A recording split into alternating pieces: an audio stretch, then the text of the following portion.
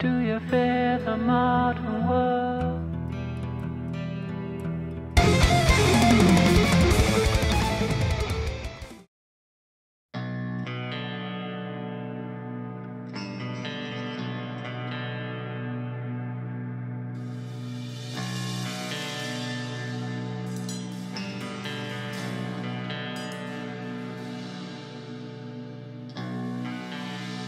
Bonjour tout le monde J'ai reçu le même jour les albums de Blind Ego, Calandra et Oceans of Slumber.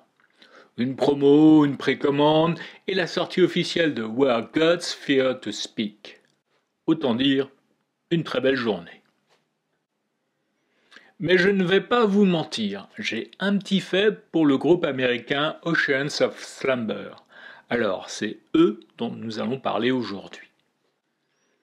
Les voici de retour avec Where Gods Fear to Speak, un nouvel album de 10 titres, dont une reprise de Chris Isaac et 56 minutes trop vite écoutées.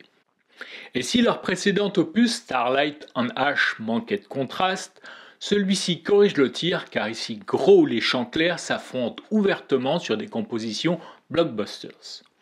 Entre le piano de Dubber et la voix de Camille, il y a déjà matière à se mettre sous l'oreille, mais comme le prouve le précédent album, cela ne suffit pas forcément. Et le retour en force de la basse de Samir, les guitares des deux Chris, la batterie de Dubber et le growl de Camille redonnent toute sa puissance au metal prog des Américains.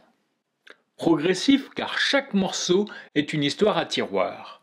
De forts contrastes allant du piano à la guitare acoustique jusqu'au chant a cappella qui s'illustre tout particulièrement sur le titre Don't Come Back From Hell Empty-Handed, long de plus de 8 minutes.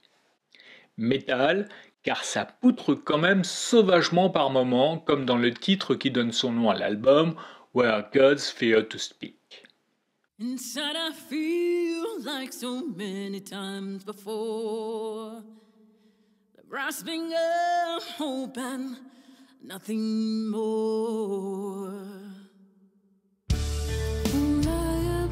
Les ouvertures des morceaux sont particulièrement inventives.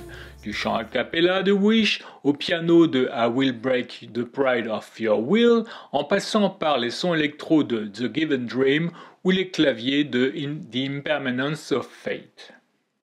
La colère des dieux semble s'exprimer par le growl caverneux de Camille. Des dieux qui soumettent les fidèles et qui promettent du vent. Un album où la chanteuse règle ses comptes avec la religion dans laquelle elle a baigné toute son enfance. Et oui, sa mère était témoin de Jéhovah. La pauvre. Inutile de dire que j'adore cet album. Mes coups de cœur vont aux plus longs morceaux, Don't Come Back From Hell Empty-Handed, à la construction des plus progressives, ainsi qu'aux plus courts, de Given Dream, à l'émotion à fleur de peau. Mais je salue également au passage Wicked Game, la magnifique reprise de Chris Isaac. De là en faire un des candidats à l'album de l'année, il n'y a qu'un pas que je ne franchirai pas car cela fait des mois que mon choix est fait et il faudrait vraiment un tsunami pour que je change d'avis. C'est fini pour aujourd'hui, à lundi prochain pour une nouvelle découverte. Comme toujours, vous pouvez cliquer sur le pouce si vous avez aimé cette chronique et si vous voulez suivre les autres, abonnez-vous. Merci. Bisous.